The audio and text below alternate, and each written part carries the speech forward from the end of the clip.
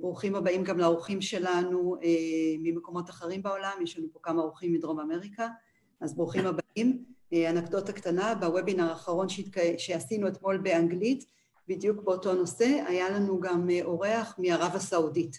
אז מי יודע, אולי בסוף אנחנו ככה נביא את השלום. הוובינר שלנו משודר כעת גם לייב בפייסבוק, וכמובן אפשר לצפות בו גם אחר כך בהקלטה, ואפשר גם לשתף אותו במידה ואתם רוצים, עם חברים שלכם שהנושא מעניין אותם. אני מזמינה אתכם לשאול שאלות בצ'אט שלנו פה, אנחנו נשתדל לענות על כל השאלות במסגרת מגבלות הזמן. יש לנו היום שני דוברים, אחד זה שמוליק, שחלקכם כבר מכיר, שמואל בן אריה, הוא מנהל השקעות ראשי שלנו בארץ, ושמוליק ידבר גם על הכלכלה בארץ, וגם על השוק המקומי, וכמובן גם על השווקים הגלובליים.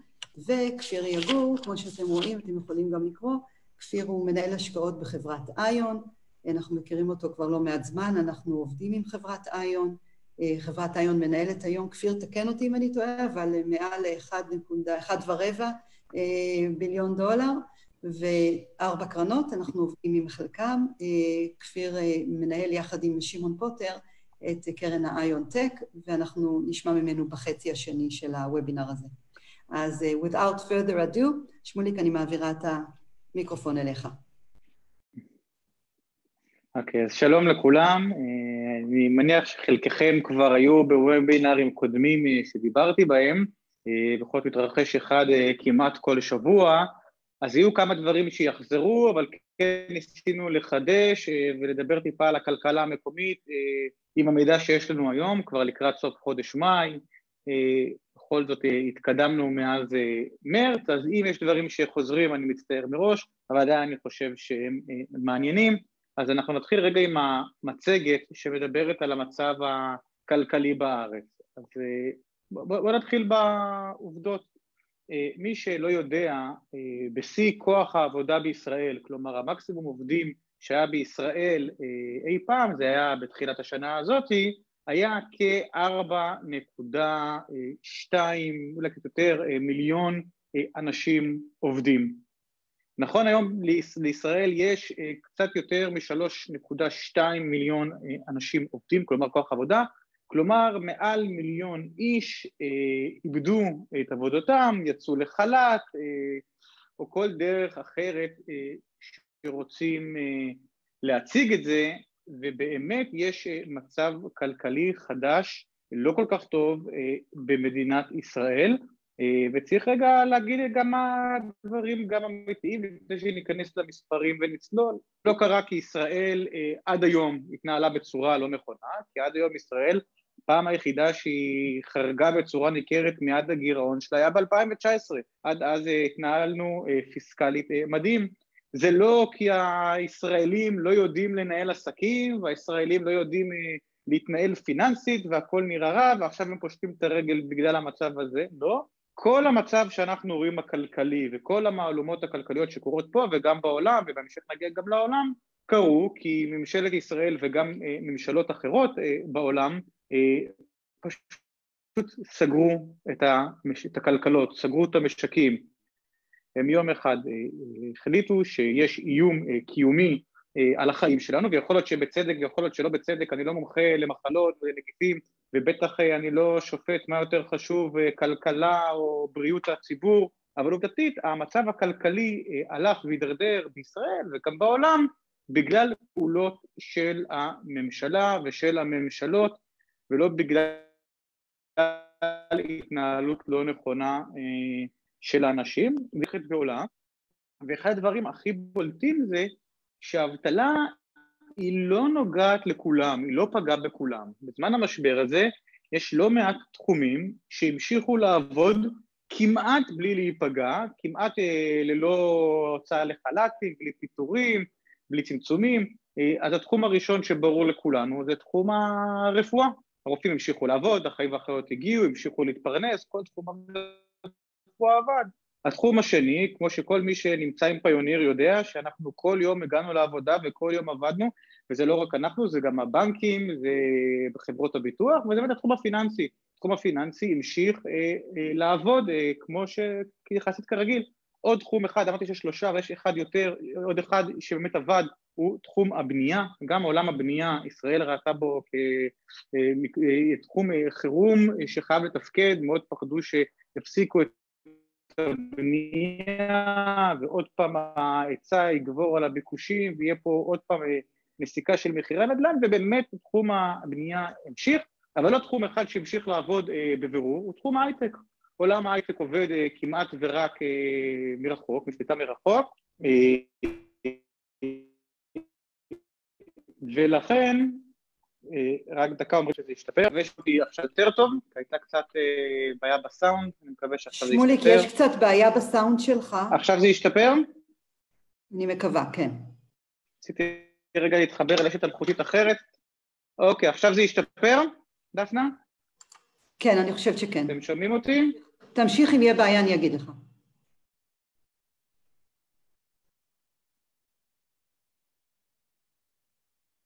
שומעים אותי עכשיו, דפנה? כן, שומעים אותך. אוקיי, אז עצרתי. כמו שאמרתי, תחום ההייטק באמת המשיך לעבוד כמעט ללא צמצומים, וזה יוצר מצב שגם ככה היה קיים בישראל, אבל עכשיו הוא ילך ויחמיר, וזה פערים בין אזורים גיאוגרפיים, פערים בין מעמדות, בזמן שיש פה ערים כמו אילת, שמה לעשות, מורכבת בעיקר מתעסוקה סביב התיירות, ונכון, שוק התיירות מתחיל לפתוח, ובתי המלון חוזרים לעבוד, ומסכימים עכשיו אפילו שיפתחו את הבריכות ויסחו, אבל מי שיסתכל על התנאים שבהם בתי המלון הולכים לעבוד, הם תנאים א' כל מאוד יקרים, עם קהל הרבה יותר מצומצם, וגם האנשים עוד לא כל כך להוטים לנסוע לחופשה, הם עוד לא בטוחים שהקורונה מאחורינו, וכל הזמן אומרים לנו, רגע, אולי יבוא גל שני, ואם יבוא גל שני אז אי אפשר לצאת, אז כשלוקחים את כל המרכיבים האלה ביחד, עיר כמו אילת מגיעה לרמת אבטלה, של היום רשום פה, זה שקף קצת ישן, היום מעל 70 אחוז אבטלה באילת. עכשיו זה לא רק אילת, זה עוד המון המון אזורים שבהם אה, התעסוקה היא פחות בפיננסים, היא פחות אה, בהייטק, וה, והאזורים האלה כמובן אה, נכבו, ויש פה איזושהי פתיחה של מעמדות שכבר הייתה קיימת בישראל ועכשיו הולכת ומתחזקת בצורה אגרסיבית, ומה שזה גם אומר לנו קדימה, בהסתכלות קדימה, שהכלכלה צריכה לשלם על זה מחיר, כי אחד, לכל אותם אנשים שהיו בחל"ת, אני לא מדבר כרגע על העצמאים, שאפשר גם לדבר על איך הם נפגעו, המדינה הייתה צריכה לשלם להם כסף. עכשיו צריך להגיד שמכל הפעולות שהממשלה עשתה, הפעולה שעבדה הכי נכון, הכי טוב והכי יעיל, הייתה תשלום החל"ת.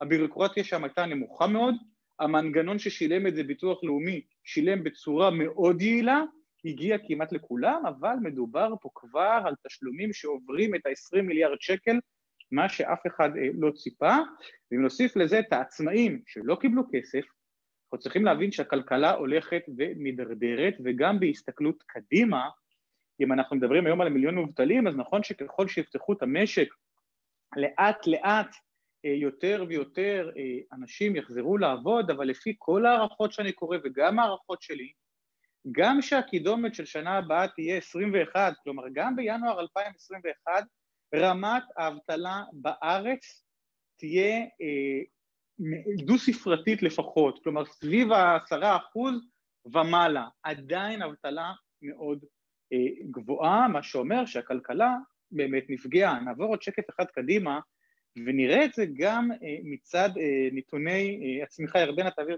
הנה, עוד שקף אחד, וקיבלנו השבוע אינדיקציה לכמה הכלכלה נפגעה, שאמרו לנו שהיא ירדה בכשבעה, שבע נקודה אחוז ברבעון הראשון של 2020 בחישוב שנתי. עכשיו רגע בשביל לסייג, יש סעיף שנקרא כלי רכב, תחבורה. ברבעון הראשון ב-2019, הסעיף הזה הייתה בו איזושהי חקיקה שעודדה אנשים לייבא יותר רכבים ברבעון הראשון, ויש פער של תשעה אחוז רק בסעיף של יבוא רכב בין רבעון 2 לרבעון 1, אני לא אתחיל לסבך אתכם מה זה אומר ולמה זה אומר, אבל אני אומר, יש פה עוד השפעות שליליות לעומת הרבעון הקודם, אבל עדיין מינוס 7 זה הנתון הכי רע אה, לישראל ב-20 שנה האחרונות. כן, היה גם ב-2000 פעם אחת נתון יותר גרוע, אבל ב-20 שנה זה נתון צמיחה הכי, הכי קשה שיש. עכשיו הרבה באים ואומרים, אבל לא נורא, הכלכלה תדביק את זה מהר, הכלכלה תדע לתקן את זה, הביקושים ידביקו, ואני אומר שהמינוס שבע הזה אותי מאוד מאוד אה, מדאיג. כי מי שלא יודע, הכלכלה הישראלית והצמיחה הישראלית מושתתת מאוד על הצריכה הפרטית, אה, על כמה אנחנו, בכלל על הצרכן הפרטי, כמה הוא מסוגל לצרוך, כמה הוא קונה, כמה יוצא לקנות. עכשיו, בסעיף הזה הייתה ירידה של 20 אחוז בהשוואה לרבעון הקודם, אה, הראשון ב-2019, כלומר לרבעון המקביל בשנה קודם לכן. עכשיו, למה זה מבהיל אותי ולמה אני שואל את עצמי מה מחכה לנו ברבעון השני? כי ברבעון אחד, בחודש הראשון של הרבעון הזה, בחודש ינואר, אף אחד לא ידע מה זה קורונה. קורונה הייתה איזשהו אה, גימיק אה, מעניין שרץ בסין, והיה לנו כיף מדי פעם לדבר אם הם אכלו עטלף או שהם אכלו נחש, וזה היה איזשהו משהו מאוד רחוק מאיתנו.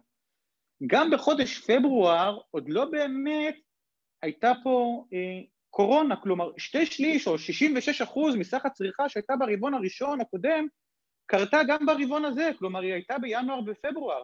אני אפילו אגיד יותר מזה, אה, הצמיחה, אה, הצריכה בפברואר הייתה כנראה גם גבוהה יותר, כי אני לא יודע מי, מי מכם זוכר, בסוף פברואר, תחילת מרץ, הייתה פה את המגמה שכולם רצים לשוק, לסופרים לקנות נייר טואלט, היה חסר לכולם נייר טואלט וכולם רצו לסופר, אז הייתה גם צריכה מוגברת, ובעצם הסגר האמיתי התחיל באמצע מרץ, אה, קצת אחרי פורים, עוד בפורים היו מסיבות המוניות שאנשים נדבקו בהם, ואחר כך זה נעצר. בערך, אם אתם רוצים תאריך, אה, הסגר המלא התחיל ב-17 במרץ.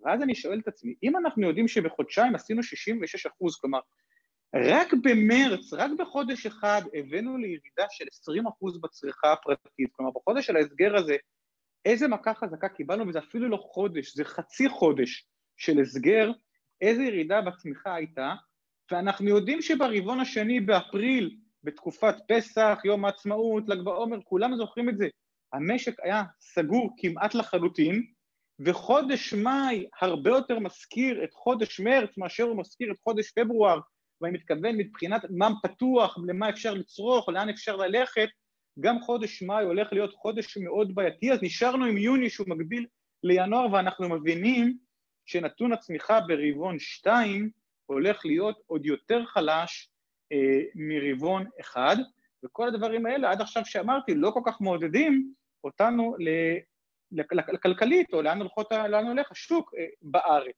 ועוד יותר מזה, שאני מסתכל על מה הממשלה בישראל הולכת לעשות, או על מה מדובר שהולכים לעשות, בניגוד למה שאנחנו רואים בעולם עם צעדים, ואנחנו תכף נדבר על מה קורה בארצות הברית ולמה כלכלת ארצות הברית היא כן מקום מאוד מעניין, אנחנו רואים שהצעדים שמדברים עליהם פה בארץ זה העלאת המע"מ לעד 20 אחוז. העלאת המע"מ תפגע באופן די ברור בצריכה שלנו, ביכולת אה, לצרוך, תפגע בכיס שלנו, כלומר גם הכלכלה אה, תתעכב. אה, העלאת מס ההכנסה לכל המדרגות, בטח למדרגות הגבוהות, גם דברים שהם לא מעודדים את השוק, בטח שאני שומע שמדברים על ביטול אה, פטור אה, מס על קרנות השתלמות, אה, חלק ניכר מהכספים שנמצאים היום מאוד בשוק, זה אה, דברים שהם רעים אה, למדדים המקומיים, לשוק המקומי, והדבר היחידי שאני כן רואה חיובי, ותכף נדבר איפה אני רואה את ההזדמנויות, מדברים הרבה על יצירת עבודות יזומות, תכף נגיע לדבר על זה. אז אני רוצה רגע להראות לכם את הגרף אה, של תל אביב 125, אה, אה, ואני רוצה להראות לכם את הדבר שרשום. אז אנחנו באמת רואים פה, קודם כל נסתכל על הגרף, איך הוא נראה, במרץ יש אה, פאניקה ענקית, אה, יש אה, מכירה המונית אה, בשווקים, השוק צונח, ובאמת אחר כך אנשים מבינים שזה לא היה כל כך נורא כמו שחשבו, אין פה מיליוני חולים, אין פה עשרת אלפים הרוגים, בתי החולים בסוף לא קרסו. יכול להיות מאוד שזה בגלל עבודה מדהימה של הממשלה וצריך למחוא להם כפיים, אני באמת לא יודע, אבל שה, שהמצב בארץ תרגע, גם המדדים התחילו לתקן, עוד פעם, הרבה מזה כי אה, מדחיפה של השוק האמריקאי, ששם עלה הרבה יותר אה, חזק, אבל אני רוצה שתסתכלו על הנתון ששמנו למטה. בחמש שנים האחרונות, אה, מדד תל אביב 125 סיפק תשואה שלילית של מינוס 2.7. היינו מסתכלים על זה אולי לפני כמה ימים, או בעוד כמה ימים היינו רואים תשואה שאולי פלוס קטן או מינוס קטן, אבל בסוף בחמש שנים, מדד תל אביב 125 לא הצליח אה, לייצר תשואה, ואם אני מסתכל על המקבילה שלו, על ה-S&P 500, ה-S&P 500, שזה בעצם ה-500 חברות הכי גדולות בארצות הברית, המדד הכי רחב, הכי מייצג את הכלכלה האמריקאית מבחינתי, אה, בעצם עלה ב-42 אחוז. עכשיו, אני רוצה להגיד משהו, גם אם הייתי שם פה אה, את מדד הדקס, או מדד אה, יורוסטוק 50 או 60, לא משנה, 600, הייתי שם פה את אחד המדדים האירופאים, גם הייתי רואה תשואה אפסית או שלילית קטנה מול 40 אחוז תשואה. אבל שיש פער בין ארה"ב לאירופה, אני יכול להסביר את זה כלכלית. הצמיחה באירופה היא צמיחה הרבה יותר נמוכה מהצמיחה של הכלכלה האמריקאית. לא אתחיל עכשיו לתת פה הרצאה על כלכלת אירופה, אבל באירופה יש המון בעיות של ילודה, המון בעיות של אה, נכסים עדיין, מה שנקרא טוקסיק אסיד, שנמצאים במערכת הפיננסית. יש לא מעט בעיות בכלכלה האירופאית, כולל פריצה של הגירעונות כל הזמן, והאמריקאים באמת הכלכלה שם צמחה יותר טוב, עבדה יותר טוב, ואני יכול להבין את הפער. אבל כלכלת ישראל, כמו שאמרנו, עד לפני שנה לעולם לא חרגה בצורה ניכרת ביד הגירעון שלה. כלכלת ישראל במשך תקופה מאוד ארוכה המשיכה לצמוח הרבה יותר מכלכלת ארצות הברית. היינו מצפים לראות את זה מתבטא גם במניות אה, בארץ. אבל מה לעשות, אחד המחדלים, ה, לדעתי, האישית, היותר קשים שנעשו פה, זה שלא עשו מספיק רפורמות אה, נכונות אה, לבורסה פה, לא, או לא הפנימו את המצב אה, כמו שצריך. אחת הבעיות לדוגמה, זה שעל נדל"ן אה, מניב משלמים במקרה הרע עשרה אחוז אה, מס, אם בכלל משלמים, ובזמן הזה בבורסה משלמים בין 15 אחוז ל-25 אחוז. העובדה שנתנו לפה להרבה חברות אה, לא באמת מקומיות להיכנס למדד, ליהנות מאיזשהו ביקושים בכניסה למדד ואז לצנוח אה, ולהוריד את המדד, חברות אה, כמו פריגו, חברות כמו אופקו, אה, יש עוד לא מעט חברות, המקרה של טבע שהייתה חברה ענקית מהמדד ודרדרה ולקחה אותה אחורה, יש הרבה סיבות למה המדד הזה בפיגור אחרי ה-S&P, אבל כשאני מסתכל קדימה, ותכף נדבר על מה קורה בארצות הברית ומה קורה פה, אני לא בטוח שההזדמנות פה גדולה אה, או בכלל שווה להזדמנות שעדיין למרות העליות החדות לעומת המדד פה קרו אה, בארצות הברית. ואם אני כן אעבור עוד שקף איפה אני כן רואה את ההזדמנות, אז דיברנו קודם על מה כן עושים, אז עושים עבודות יזומות, רוצים לייצר מקומות עבודה בצורה אה, אה, מלאכותית ורוצים אה, לייצר עבודות אה, יזומות, אז הנה סתם הודעה שראיתי במשרד האנרגיה על איך הם הולכים לעשות פרויקטים תשתיות בשביל אה, לייצר אה, מקומות עבודה, ואז אם אנשים שואלים אותי איפה הכסף, אני חושב שהכסף היום נמצא בחברות אה, תשתיות, אני חושב שיוזרם לא מעט כסף אה, למקומות האלה, יש המון חברות, אני לא אכנס מיותר טוב או פחות טוב, אבל זה חברות משפיר, שיכון ובינוי, אשטרוב, ג'נריישן, לא, לא מעט חברות תשתיות שקיימות בשוק, ושם כן יזרום כסף, וזה כן פוטנציאל להרוויח פה בארץ, וגם אני אומר, מי שמשקיע פה בארץ, כדאי שיכיר את השוק המקומי, כדאי שידע מה הוא קונה, ויקנה את זה לא כמו ב-S&P, פשוט לקנות ולרוץ, אלא ידע באמת להתעסק אה, בעשייה. נעבור עוד שקף ונדבר על איפה כן היה הזדמנויות שנוצרו בקורונה ואיפה כן הרווחנו כסף. אז אחד המקומות הכי מעניינים שהיו בארץ, ולדעתי עדיין, מעניין, זה שוק אג"ח החברות. אה, תמיד אמרו לי על איגרת חוב שהיא מונפקת ב-100 אגורות, כלומר נתנתי הלוואה של 100 אגורות ובסוף הימים אני אחזיר את האיגרת, אני אקבל את ה-100 אגורות פלוס הקופון שהובטח לי. מה קורה אם יש חשש שהחברה הידרדרה או מצבה הפיננסי לא טוב, או יש חשש שאני לא אקבל את ה-100 אגורות חזרה? השוק ישקף לי את הרמת סיכון שיש לי. כלומר, האיגרת במקום להיסחר ב-100 אגורות, תיסחר ב-95 אגורות, ב-90 אגורות, אם יחשבו שהיא ממש הולכת אה, להתרסק אולי ב-70 אגורות, ב-60 אגורות, כלומר, ה-100 אגורות שאני הלוויתי היום שוות הרבה פחות, כי יש אה, חשש שהכסף לא יחזור, שההלוואה לא תחזור. אבל בחודש מרץ ראינו משהו אה, מדהים. הייתה פה יציאת כספים מטורפת משוק קרנות הנאמנות, בעיקר משוק קרנות הנאמנות, פשוט כי זה המקום שהכי קל להנזיל, בניגוד לפנסיה או לדברים אחרים שאני צריך להתקשר לסוכן שלי ולהגיד לו שימכור, קרן נאמנות זה מאוד קל, אני נכנס לאפליקציה לפלאפון שלי או למחשב שלי, נכנס לחשבון הבנק, רואה את אותה קרן שהיועץ בבנק שלי המליץ, אומר לו אני לא רוצה את זה יותר ואני מוכר את, ה, את הקרן ואז ראינו באמת פדיון של כמעט 40 מיליארד אה, שקל, האמת היא מעל 40 מיליארד שקל, בטבלה פה רשום 35 מיליארד, כי יש גוף אחד, אתם יכולים לחפש איזה גוף לא נמצא פה, שפדה יותר מכולם ולא הסכים להופיע בטבלה אה, ולכן הוא לא מופיע פה, אבל פדו מעל 40 מיליארד אה, שקל משוק קרנות הנאמנות. שאני אסבר את האוזן, מדי שנה מגייסים בשוק, כל שוק קרנות הנאמנות מגייס כעשרה מיליארד שקל, אפילו קצת פחות בממוצע בארבע השנים האחרונות.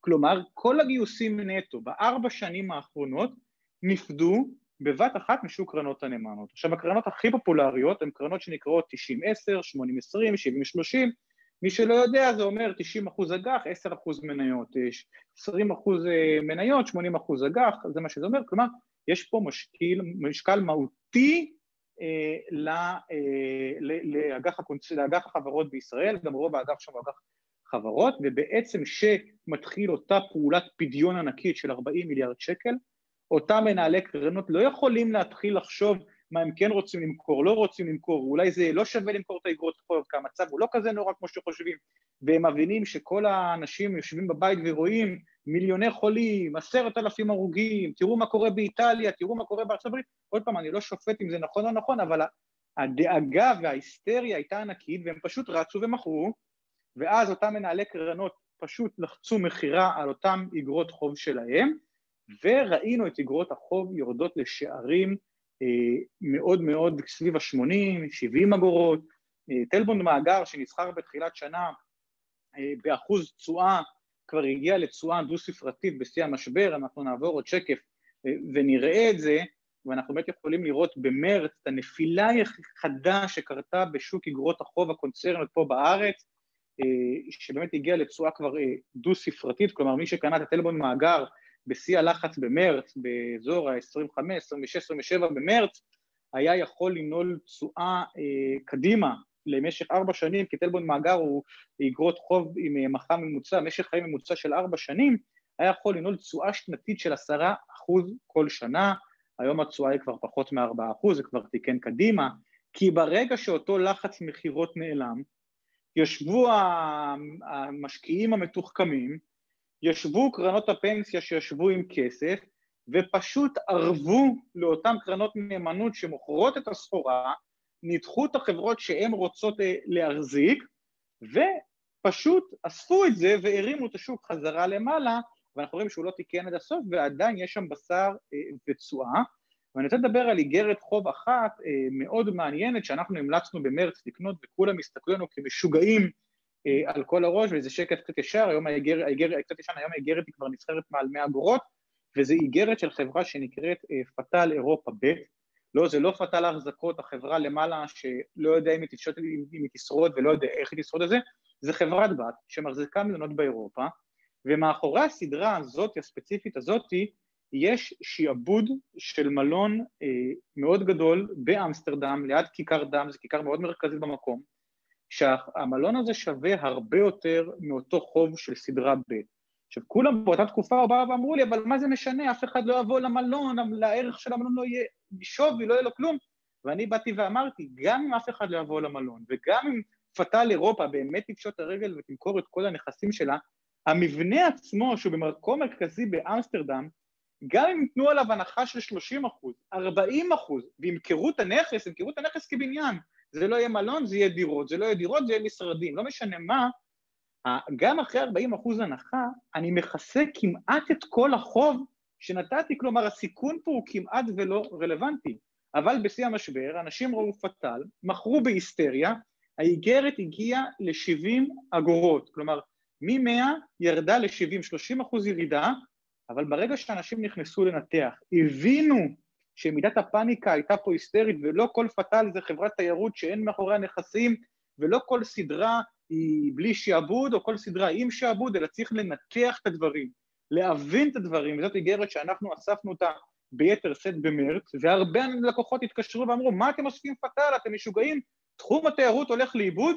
אז לא, גם אם תחום, תחום התיירות היה הולך לאיבוד, גם אם פטל הייתה מוכרת את המלון הזה באמסטרדם, אנחנו את הכסף שלנו, את המאה אגורות היינו מקבלים, וקנינו ב-70, נקבל בוודאות 100, עכשיו כבר אפשר למכור את זה בשוק ב-100, וזה גם כנראה מה שאנחנו אה, נעשה, וזו הזדמנות אה, מדהימה אה, שהייתה בשוק, שאני חושב שעדיין אה, קיימות, ושווה לנסות. אז נמשיך באמת לשוק הגלובלי, לשוק ההון הגלובלי, אה, ונתקדם שקף אחד אה, קדימה. אז בשוק ההון הגלובלי, אה, אפשר לראות פה את המדדים המובילים, אבל בואו נסתכל על המדד אה, האדום היפה, שגם נראה שחזר להיות מעל מה שהיה בתחילת שנה, אה, וזה מדד הנסדק. ומדד הנסדק הוא בעיקר מכיל חברות טכנולוגיה גדולות, חברות טכנולוגיה מעניינות, וזה גם די הגיוני שהוא הראשון שיתקן והראשון שיחזור, כי בסוף בימי קורונה, אם היא הייתה ממשיכה ואם היא לא הייתה ממשיכה ואם יהיה גל שני או לא יהיה גל שני,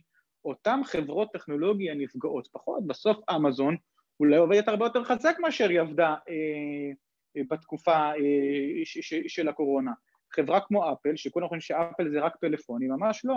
אפל היא שחקן ה e-commerce הגדול בעולם, חנות ה Apple Store שלה היא אחת מכונות הדיגיטלית, סליחה, היא החנות הדיגיטלית שמוכרת הכי הרבה אה, אה, בעולם, ומן הסתם אנשים יושבים בבית, הם מזמינים שירים, הם מזמינים סרטים, הם מזמינים, אז חברות הטכנולוגיה באמת היה בהן אה, פוטנציאל אה, גם לתקף, וזה גם משהו שפיוניר עשתה אה, לא מזמן, היא הגדילה החזקה בנסדק אה, בשיא המשבר, כי הבנו ששמה הפגיעה אה, הכלכלית היא יותר אה, נמוכה, אבל אם נסתכל על מדד ה-S&P 500 אז גם הוא תיקן מאוד יפה, אבל הוא עוד לא תיקן הכל, וצריך להגיד משהו, אם נחזור למה שאמרנו עכשיו על ישראל, הכל נכון גם על ארצות הברית ועל כל העולם. לא רק בישראל סגרו את המשק, לא רק בישראל הביקושים ירדו, לא רק בישראל הצריכה ירדה, לא רק בישראל נראית צמיחה שלילית ברבעון השני והשלישי, גם בארצות הברית. אבל נעבור עוד שקף אחד קדימה ונדבר על ההבדל הגדול בין ארצות הברית, לא לכל העולם, אבל בטח לישראל, זה מה עשו הממשלות ומה תומך בשווקים. אז אם הייתי צריך לחשוב לאן הולך שוק המניות, וככה זה כלכלנים, אנחנו בדיעבד יודעים לנתח הכל בצורה מושלמת, לחזות קדימה קצת הרבה יותר, הרבה יותר קשה לנו, ותמיד אנחנו אומרים שניתן את הסיבות גם לעלייה וגם לירידה, ובואו נראה שפה עכשיו זה מאוד מאוד בולט. כי אם הייתי צריך להסתכל רק על הנתונים הכלכליים, אז ברור שהאבטלה בארצות הברית עלתה, ברור שלאנשים יש פחות כסף ביד אז הם יקנו פחות, יצרכו פחות, הצמיחה תהיה יותר נמוכה, וזה רע לשוק המניות. אנחנו יודעים בוודאות שהצמיחה עוד הולכת לרדת, יכול להיות גם ב-20% אה, בארצות הברית, מה שאמור להשפיע על המניות מאוד רע, ובאמת הפגיעה של הסגר הזה היא לא משהו שיורגש רק ברבעון השני והשלישי. לאנשים יש פחות כסף גם בעוד שנה קדימה, ובעוד אה, יותר מזה אפילו, אנחנו, אה, יש, אנחנו נחווה את הפגיעה הכלכלית, ובטח ובטח יש סקטורים שייקח להם המון זמן, אם בכלל, אה, לחזור למה שהיה. הכי קל כמובן, כולם יודעים, זה תעופה, מתי יפתחו את זאת התעופה, מתי לאנשים יהיה אומץ לטוס, מתי אנשים שהיו טסים רגילים לטוס לפגישה עסקית ליום אחד ולחזור, כי זה היה פשוט וזול ונוח, פתאום כבר לא ירוצו לטוס כל כך מהר, אנשים שהיו לוקחים ארבע חופשות בשנה, פתאום דברים יראו אחרת, גם כי יש להם פחות כסף בכיס, גם כי מפחיד לטוס, עוד תחום שנפגע בצורה בולטת וגם ייקח לו הרבה זמן לתקן, תחום של תרבות אה, וספורט. כמה אנשים, נגיד ועכשיו היו פותחים את המגרשי כדורגל, אתם חושבים שהיינו באמת רואים אצטדיונים אה, מלאים, שכל כך מהר אנשים היו חוזרים? שואל אתכם, האם אה, בצפון איטליה הקהל של יובנטוס לדוגמה היה רץ לרוץ, או האם בספרד אנשים ירוצו למלות אצטדיונים? אני לא כל כך בטוח, זה נכון גם על תיאטראות, על בתי קולנוע, על כל התחום הזה, אז יש תחומים שנפגעים, והבורסה חייבת לשקף את זה, וזה נראה שהבורסה לא באמת מחוברת למציאות, כלומר אנחנו יודעים שיש פה מצב כלכלי רע, אז איך יכול להיות שהבורסה רצה כל כך מהר למעלה? אבל האמת היא שממול זה אה, עשו המון פעולות מאוד תומכות שוק ההון.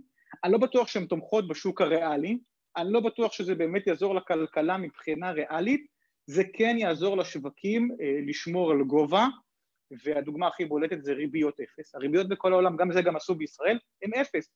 אם אני רוצה להפסיק לחסוך בשוק ההון ורוצה לשים את הכסף בבנק, אני במקרה הטוב אקבל אפס אחוז תשואה, באירופה אני גם אקבל אה, תשואה אה, שלילית. שתיים, כל מה שאמרנו על המצב הרע ושהדוחות הכספיים הולכים להיות קטסטרופה ושהצמיחה הולכת להיות מינוס עשרים, הכל ידוע. שום דבר פה לא הולך להפתיע. והבורסה היא צופה פני העתיד, זה מה שאנשים חושבים שהולך לקרות, אז הפתעה לרעה בדוחות זה כנראה משהו שלא נקבל. שתיים, אנחנו רואים צעדים פיסקליים ומוניטריים אה, מטורפים מצד ממשלת ארצות הברית. אנחנו רואים תוכניות הרחבה של שתי טריליון דולר, משהו שלי נשמע בדיוני עד היום, נשמע לי כמו איזשהו משהו שאם הייתי רואה מערכון של Saturday Night Live show והיו אומרים אנחנו הולכים לעשות הרחבה של שתי טריליון דולר בתור הגזמה וזה, אבל זה לא הגזמה, זה התוכנית שעושים, הולכים להזרים שתי טריליון אה, דולר, כלומר כסף הולך להיות מוזרם. עכשיו האמת היא שזה הסיפור של השווקים הפיננסיים, בטח בארצות הברית, די משנת 2008. השווקים התמכרו, אה, כמו נרקומן שמתמכר לסמים, התמכרו לאותם צעדים מוניטריים ופיסקליים שפשוט שומרים על אפס אלטרנטיבות חוץ משוק ההון ושומרים על, אה, על אפס אלטרנטיבות לשוק ההון ומזרימים כל הזמן כסף לשוק וקונים אגרות חוב ואולי גם קונים מניות עוד מעט וכל הזמן מזרימים את השוק ובגלל זה השוק לא יכול לרדת, הוא כל הזמן עולה. עכשיו אתם באים ושואלים אותי מה יותר חזק, הצעדים הפיסקליים והמוניטריים שעושה לממשלת ארה"ב או הכלכלה בפועל, אז התשובה שלי אני לא יודע. אני באמת לא יודע לאן זה הולך, אבל אני יודע שזה יכול ללכת לשני הכיוונים וצריך לשקול בצד, אה, לשקול בכובד ראש איך משקיעים, למה משקיעים, תכף נדבר על גם מה אנחנו עושים בפיוניר וניתן לכפיר לדבר על ההזדמנויות שיש היום במניות הטכנולוגיה, אבל אני רוצה לעבור עוד שקף אחד ולדבר רק עוד דבר אחד, כי זה עולה, כל הזמן שואלים אותי, וכל הזמן שואלים את אה, מייק ובפיוניר, שואלים מה עם הבחירות בארצות הברית? האם אתה לא מפחד מהבחירות בארצות הברית? האם אתה לא מפחד שטראמפ ירד? הרי אם טראמפ ירד, יבוא איזשהו אה, דמוקרט אה, קומוניסט שימוטט את הכלכלה. אז אה, בואו נחלק את זה, לש... נחלק את זה רגע לשתיים. נתחיל בחלק דווקא של טראמפ, שהוא כאילו יותר ברור. א' כל עד הבחירות אני מאמין שטראמפ יעשה כל מה שהוא יכול לנסות לשמור על השווקים למעלה, ואנחנו רואים אותו גם עושה את זה, לא תמיד זה תלוי בו, ואנחנו רואים שהוא עושה הכל לשמור על הכלכלה, כולל אה, לשים, אה, לזלזל טיפה אה, בקורונה, כולל ללחוץ על הפד, מה שהצליח להוריד את הריבית לאפס, כולל הרחבות פיסקליות מטורפות, ובאמת הוא שומר. מה יהיה אחרי שהוא ייבחר, אם הוא ייבחר? אני חושב שטראמפ כמו טראמפ ימשיך לתת דגש על הצד הכלכלי, אני חושב שהוא ימשיך באותו קו שהוא הלך עד עכשיו, צריך לזכור תמיד, נשיא בקדנציה שנייה, שנבחר פעם שנייה, תמיד המדיניות הכלכלית שלו היא הרבה פחות פופוליסטית. בדרך כלל בקדנציה הראשונה נהוג לתת אה, כלכלה, מה שנקרא כלכלת בחירות, כי רוצים להיבחר בקדנציה השנייה, הראשון, להיבחר לקדנציה השנייה, אה, אחרי בחירות דברים קצת משתנים, ודווקא במקרה של טראמפ אני חושב שיחסית אפשר להיות רגועים, כי אני חושב שהוא באמת ייתן את הדגש על הצד הכלכלי.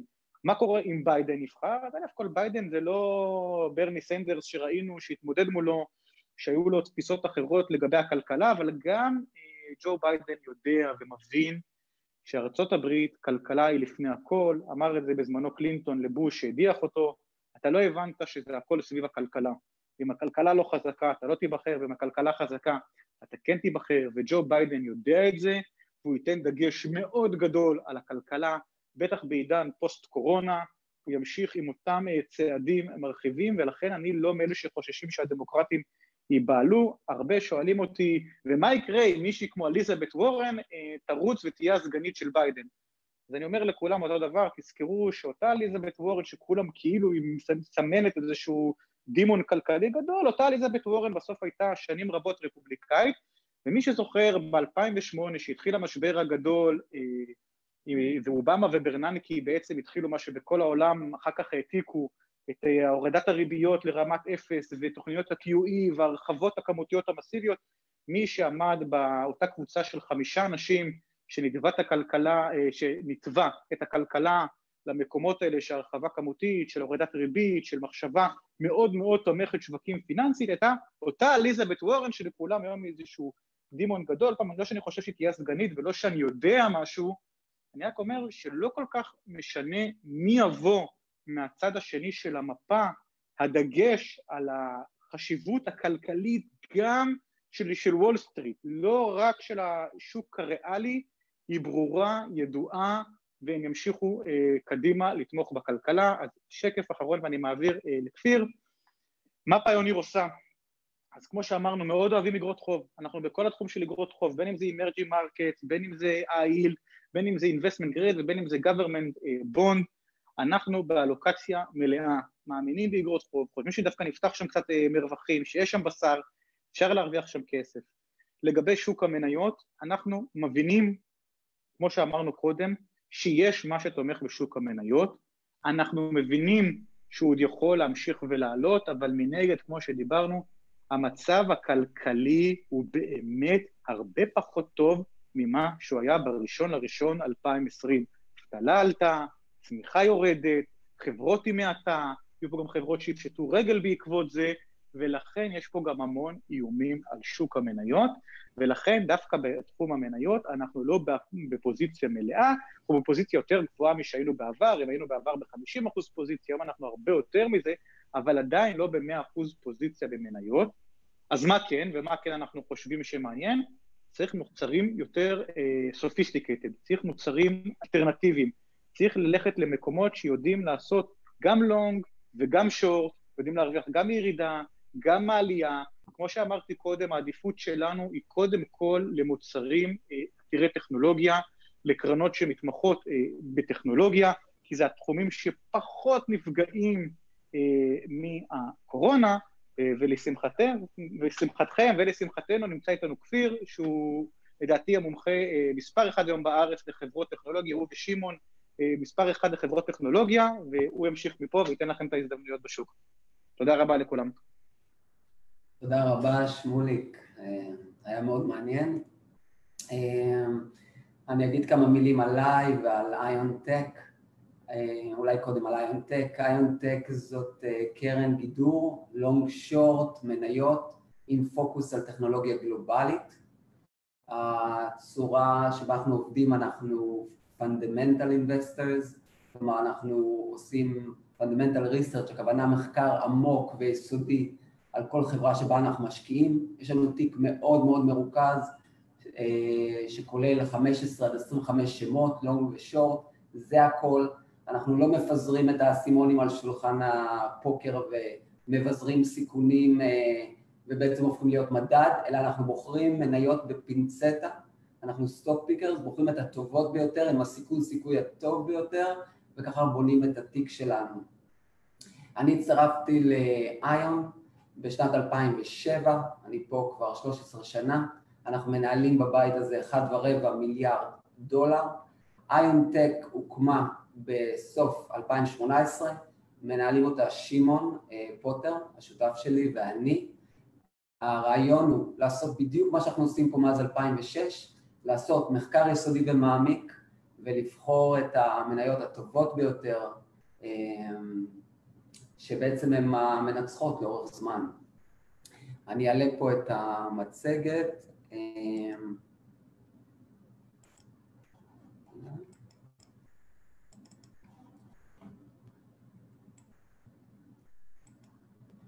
אוקיי. רואים את המצגת? כן, רואים, אבל אתה צריך לעבור למצב תצוגה. enable editing ולמטה מה שנראה כמו מעין פליפ צ'ארט כזה, בדיוק. זה נכון. עכשיו זה לא מצב תצוגה? לא, זה לא יעבוד לך עד שלא תעשה enable editing. למעלה, enable editing בשורה בצ... בצהוב. כן, שנייה אחת. אוקיי. תשתף שוב, ואז תלחץ על הכפתור למטה שהיית עליו. תנסה כמה פעמים, זה לוקח לו זמן.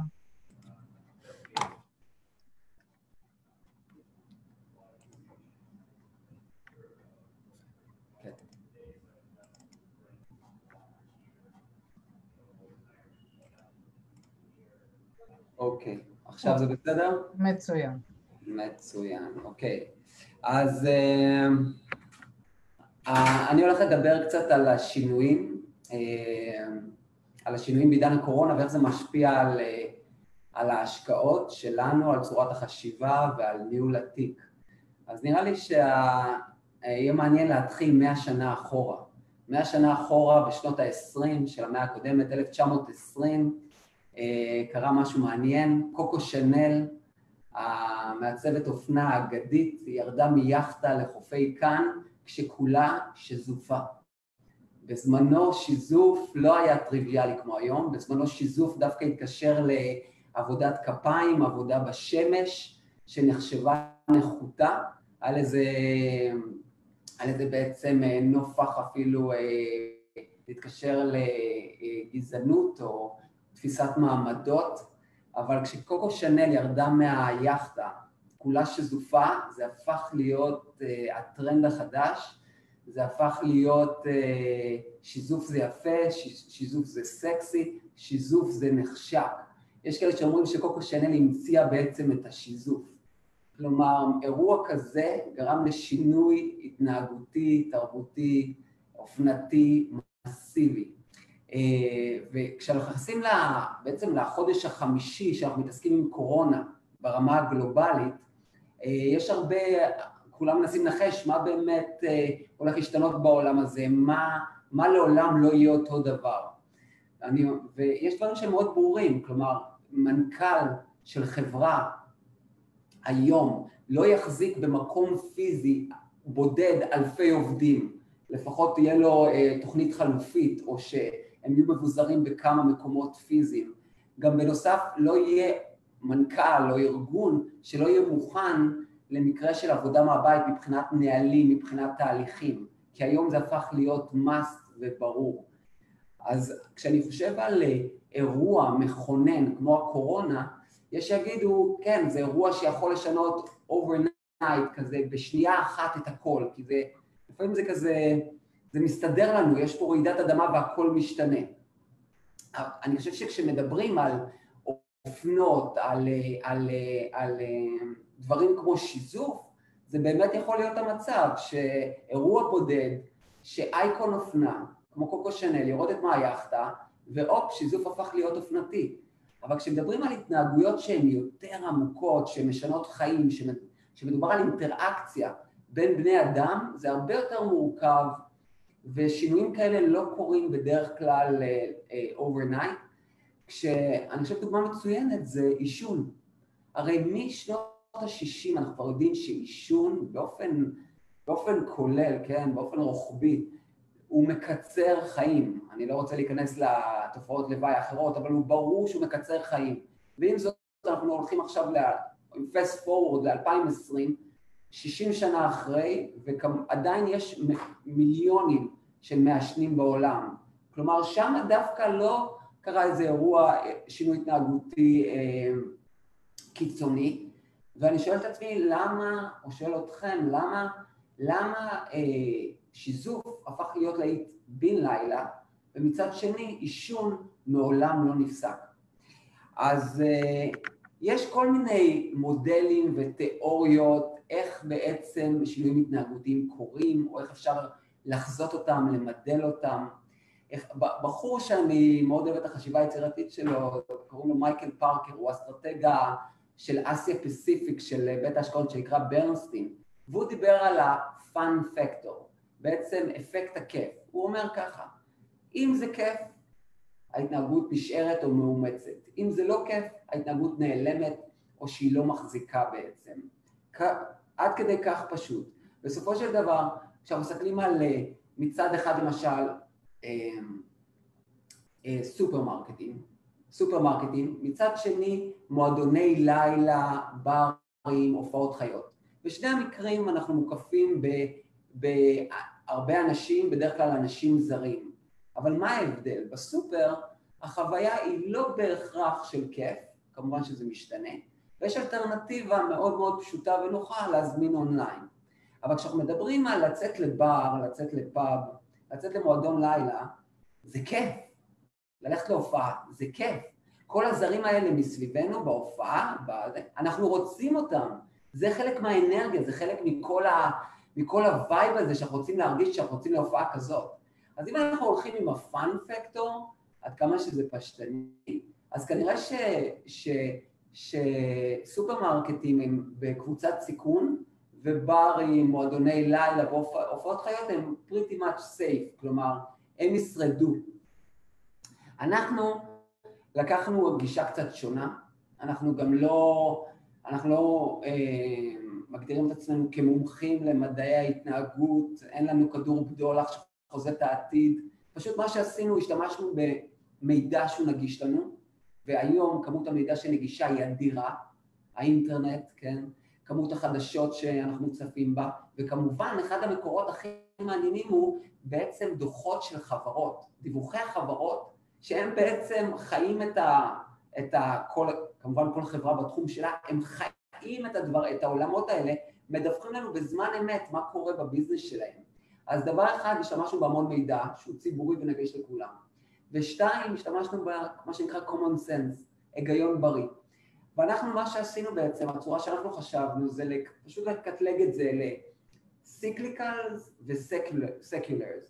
cyclicals זה הכוונה שינויים קצרי, קצרי טווח, שינויים שלא מחזיקים לאורך זמן. כלומר, הקורונה הביאה שינויים מסוימים, כשהקורונה תחלוף הם גם ייעלמו.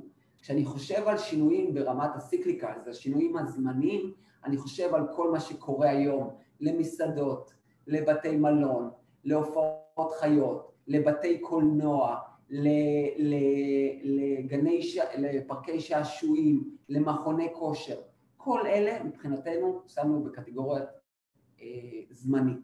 עם זאת יש תהליכים שנקרא, מה שנקרא secular, secular זה גלים יותר ארוכים, זה תופעות כאילו שעוברות חוצות שנים והם אה, או שהתחילו לפני עידן הקורונה וקיבלו בוסט, קיבלו איזושהי האצה בזמן הקורונה, או שבעצם התחילו בזמן הקורונה והן לא הולכות להיעלם בקרוב. כשאני חושב על תופעות כאלה, זה כמובן e-commerce, כאילו מסחר אלקטרוני, אה, לימוד מקוון, e-learning, על כל מה שקשור, כל מה שקשור לדיגיטל health, בריאות דיגיטלית וכל הטלרפואה, אה, כשאנחנו חושבים על נוכחות אינטרנטית לעסקים וכל ה-work from home, כל אלה הם מבחינתנו תהליכים או גלים ארוכי טווח שהולכים להישאר איתנו תקופה ארוכה. היה, הייתה כתבה בוול סטריט ג'ורנל שראיינו את מנכ"ל וולמארט, הוא דיבר על כל השינויים בהתנהגות צרכנים שקורה לאחרונה, אה, והוא אמר שהרבה מהשינויים האלה הולכים להישאר איתנו, זה לא שינויים זמניים, ווולמארט היא גוף ש... ממש נהנה מהקורונה, זה גוף שממש רואה את, ה, את, ה, את השינויים בהתנהגות הצרכנית. ברבעון האחרון אה, וולמרט הודיע שדיווחה שהצמיחה באי-קומרס, במסחר האלקטרוני, עלתה ב-74% שנה מול שנה. ואם אנחנו מדברים רק על גרוסרי, כלומר מוצרי מזון אונליין, הם עלו ב-300 שאלה נתונים פנומנליים.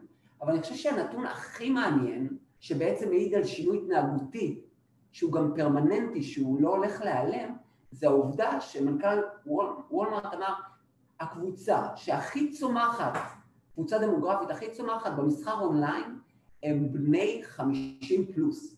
בני 50 פלוס נחשבים קטגוריה עקשנית, עקשנית, כן? כי הם לא קל לשנות התנהגות שלהם.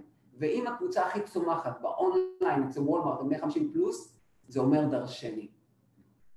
בנוסף ראינו ששבוע שעבר מרק זקנברג אמר שפייסבוק עושה מהלכים אגרסיביים לעבור לעבודה מהבית. הוא אמר, או הוא צופה, שעוד עשור כמחצית מעובדי פייסבוק יעבדו מהבית. 50 אחוז מעשרות אלפי עובדי פייסבוק יעבדו מהבית תוך עשור. זה, אלו מספרים לא טריוויאליים בכלל. וכשאני חושב על ה... כשאנחנו חושבים פה על כל הדברים האלה ביחד, כשאנחנו עוברים את הנקודות, אנחנו רואים מה קורה בעולם כזה ש, ש-50% מכוח העבודה עובד בבית.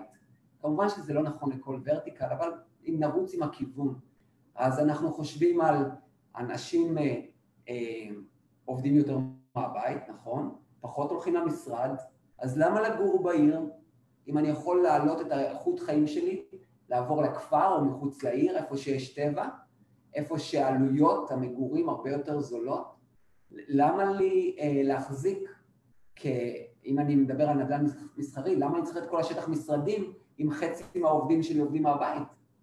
למה בעיר, כלומר, ובעיר הביקוש לנדל"ן, למה שלא ירד אם הרבה אנשים עזבו את העיר, אם הטרנד של האורבניזציה בעצם מתחלף בדי-אורבניזיישן, אנשים יוצאים מהעיר, אז אני חושב על ביקוש נמוך יותר ומה קורה למחירי הנדל"ן, זה גם מעניין.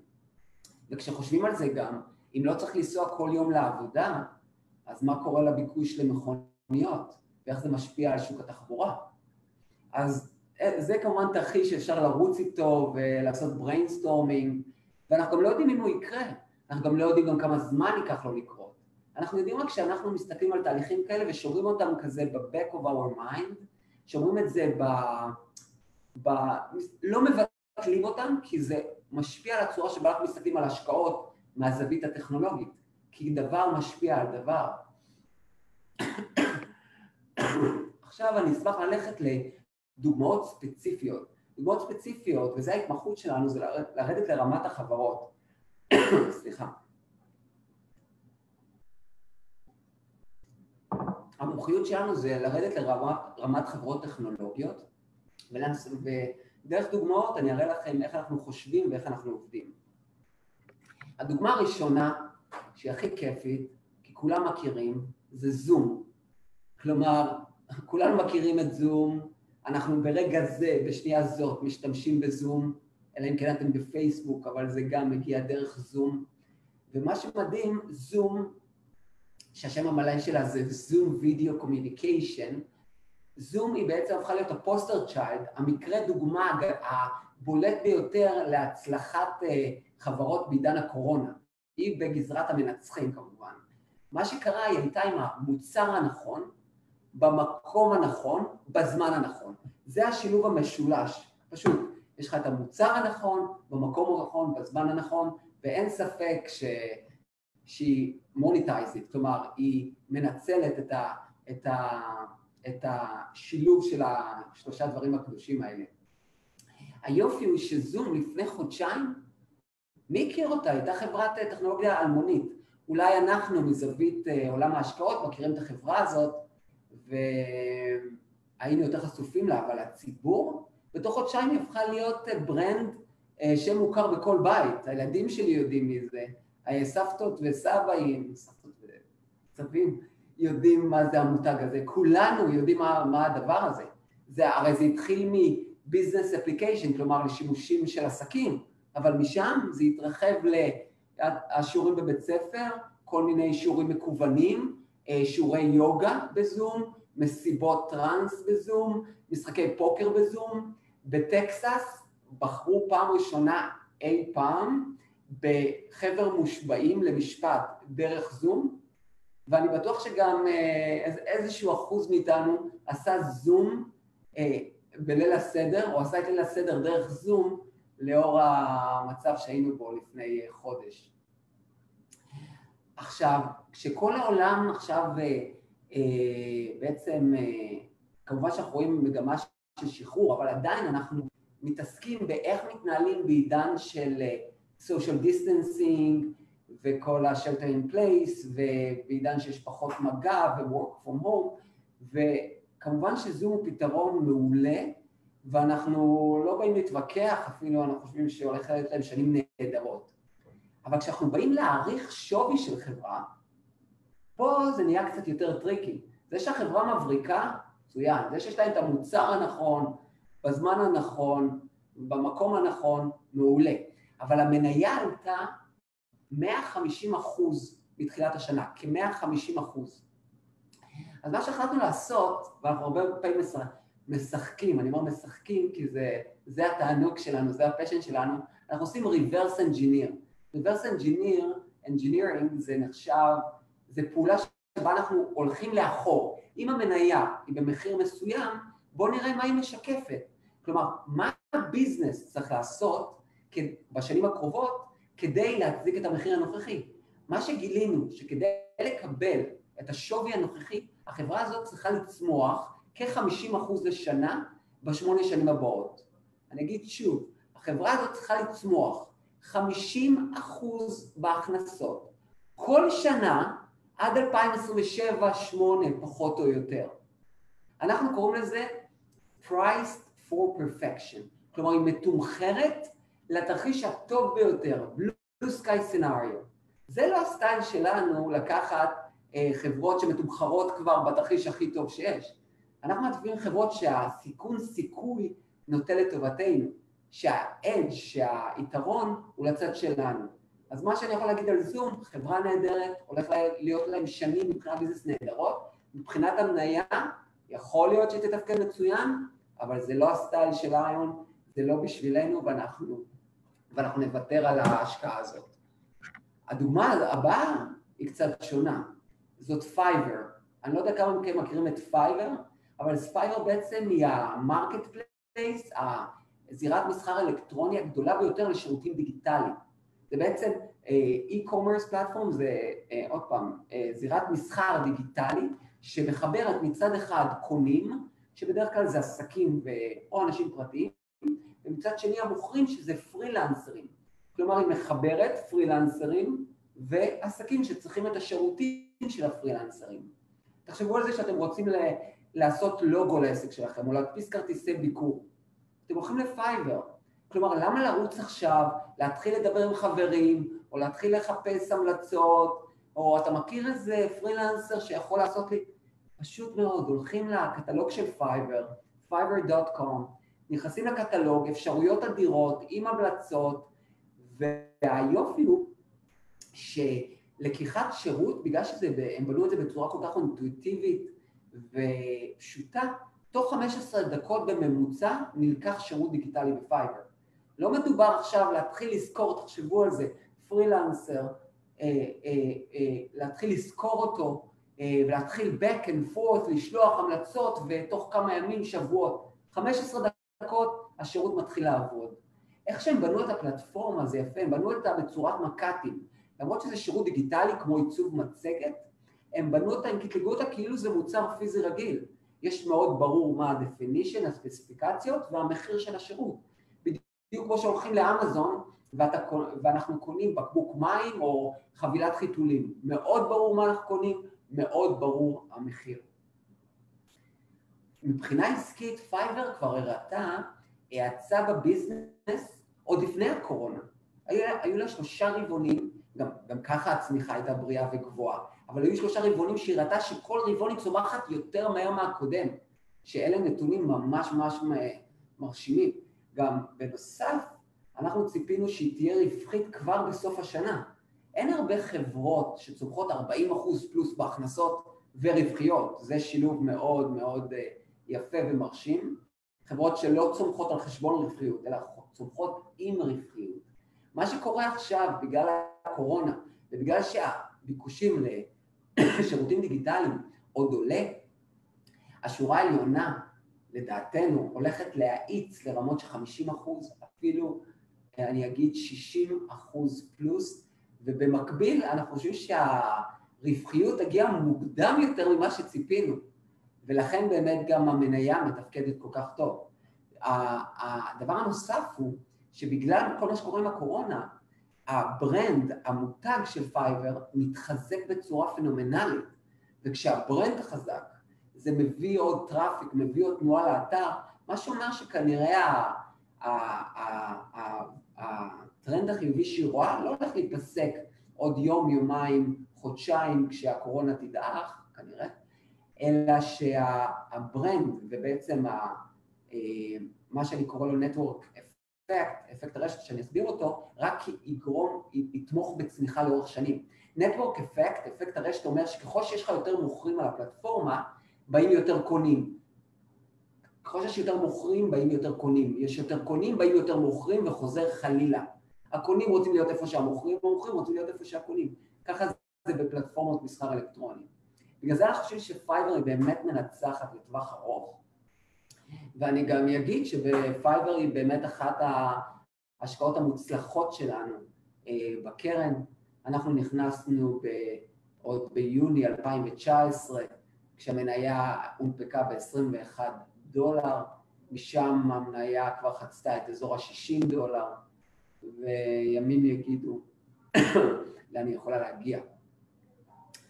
הדוגמה הבאה שאני רוצה להגיד, ואני חושב שגם אין צורך אה, אה, להכיר, זאת פייפל, אה, שאנחנו חושבים שהיא אה, אה, אה, אה, חברת התשלומים האולטימטיבית, והסיבה שאני אומר החברת תשלומים, כי הם סולקים 20 עד 30 אחוז מכל ה e-commerce, מהמסחר האלקטרוני הגלובלי. ה volume הגלובלי של e-commerce, פייפל סולקת 20 עד 30 אחוז, שזה מספרים פנומנליים. על הפלטפורמה שלה יש לה 300 מיליון משתמשים, 300 מיליון. 25 מיליון עסקים שמו את הכפתור של פייפל באתר שלהם, שמאפשר את השימוש בארנק האלקטרוני הזה. לנו הצרכנים, פייפל זה פתרון מעולה כי הוא פשוט הופך את הכל frictionless, הוא הופך את זה קל ויעיל ובלחיצת כפתור אנחנו פשוט עושים את ה checkout, עושים את הרכישה ויוצאים מהאתר. לבעלי העסקים זה גם מאוד פשוט, הם פשוט משפרים את ה... מה שנקרא, את ה-checkout conversion, את האחוז של אנשים שמסיימים קנייה. בגלל הפשטות של התהליך, זה הופך מאוד קל, ועסקים שמאוד חשוב להם בסופו של דבר שאנחנו, הצרכנים משנים את הקנייה, פשוט מעודדים את השימוש בפייפל.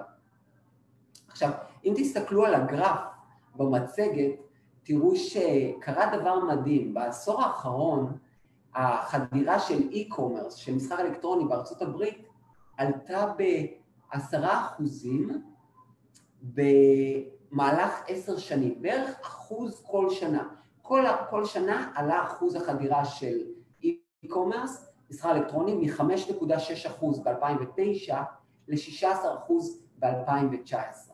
מה שקרה בשבועות האחרונים, או להיות יותר מדויק, בשמונה שבועות, החדירה של האי-קומרס קפצה מ-16 ל-26 אחוז, ב-10 אחוז נוספים. מה שקרה עשור קרה בשמונה שבועות בלבד. ואנחנו חושבים שחלק גדול מזה נשאר איתנו, כי הוא פשוט מאיץ תהליך שהוא טבעי וקורה לאורך שנים. אני רוצה גם כדי להדגיש, לצטט, אה, אני אתרגם קטע מהשיחת ועידה של פייפל, אה, שבו הם אמרו, ממשלות, רגולטורים וסוחרים מכל הגדלים פונים אלינו להכליל את פייפל ואת ונמו בתהליך ה checkout, בתהליך התשלום, כדי לאפשר checkout אה, חלק ומהיר בתוך החנות. הצורך בתשלומים ללא מגע הופך להיות יותר ויותר חשוב מאי פעם, והצורך להימנע ממגע בכסף פיזי או לגעת במסופים, הופך את ה... בעידן של social distancing, הופך יותר ויותר חשוב. פייפל היא אחת מה... מהעשר החזקות הגדולות שלנו. אהבנו את ההחזקה הזאת לפני הקורונה, והיום אנחנו אוהבים אותה אפילו יותר, כמה שזה נשמע מדהים, ואנחנו חושבים שהחברה הזאת ממוצבת בדיוק במקום הנכון, בטרנדים הנכונים, כדי לרכב, כדי לרכב על הטרנדים האלה של מעבר ממסחר אופליין לאונליין, למעבר למסחר אלקטרוני, והמעבר של אמצעי תשלום מפיזי, cash, לאמצעי תשלום דיגיטלי. ולכן אני חושב שפייפל היא גם מנצחת לטווח ארוך. לסיכום אני אגיד שאנחנו אה, אנחנו פה מ-2006. יש לנו שנים של ניסיון, גם לפני זה באנו כל אחד מעולמות ההשקעות, ומה שלמדנו שאנחנו בעצם יותר טובים, או אפילו טובים, בלקרוא מגמות ארוכות טווח ולקרוא את המנצחים של המגמות האלה. אנחנו פחות טובים בלקרוא מה יקרה שבוע הבא, או חודש הבא, או אפילו ברבעון הבא. ולכן אנחנו שמים פחות פוקוס האם המכוני כושר ייפתחו עוד שבוע או שבועיים, האם הופעות חיות יהיו כבר פעילות ביולי או בספטמבר. אנחנו שמים את הפוקוס איך העולם הזה ייראה עוד שנתיים, עוד שלוש, עוד חמש, מי המנצחים ומי המפסידים בעולם הזה. אלו, אלו אזורים של טכנולוגיה יקבלו אה, בוסט ויהיו יותר, יותר demand, ואיזה אזורים של טכנולוגיה יראו ירידה בביקוש ויהפכו להיות אובסולית או יתיישנו. ובסופו של דבר אלה המחשבות והצורת עבודה שעוזרת לנו לבנות את תיק המניות שלנו.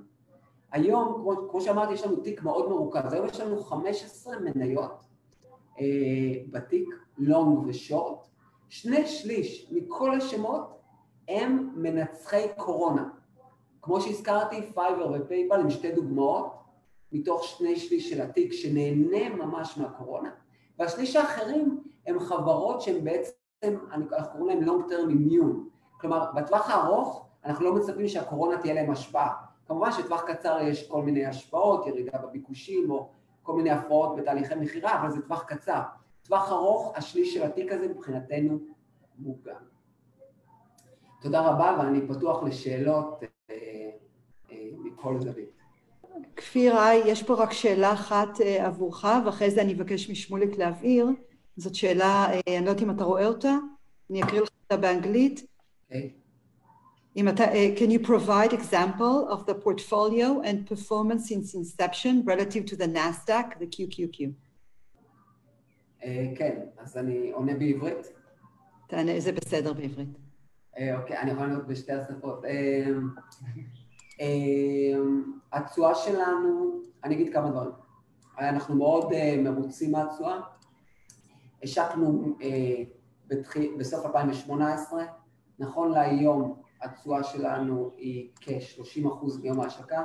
מתחילת השנה אנחנו עומדים על 14% תשואה, מתחילת השנה.